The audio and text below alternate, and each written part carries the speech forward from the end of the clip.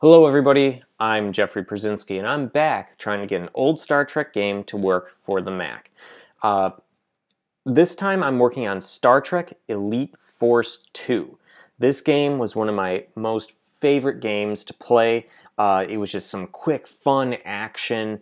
Uh, I thought it was really great to have a different, a whole lot of different weapon variety. Um, it was uh, holomatches were so much fun. Um, and I also like the fact that uh, it really uh, pushed graphics to the time, I thought, uh, really, really well. Plus, it was set in the Star Trek universe, so I really enjoyed it.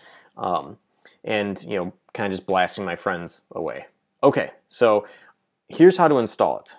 It is a little bit tricky because I kind of just had to take files from my um, uh, files from my Windows computer and just grab it and paste because since it was this game was shipped on two discs, the CD switcher doesn't really recognize um, that uh, a disk has been removed and then added back in.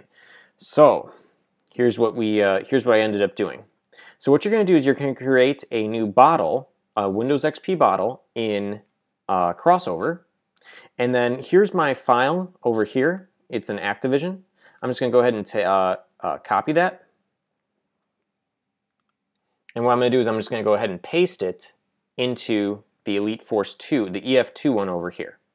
Once that's ready, you can go ahead and uh, launch this item. So I can just go ahead and double click there. And in a couple moments, there we go.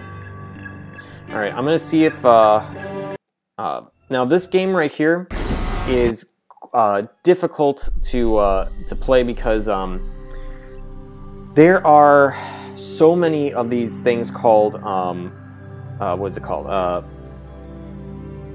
uh, golden starships. Those are like those little bonus items that you have to uh, try to find, and it's hard. I was never able to find all of the golden starships. So, what I would like people to do is if you could just let me know how or, or where those golden starships are, just let, let me know in the comments below for the next mission. I'm not going to proceed into the next level until I've found all the starships.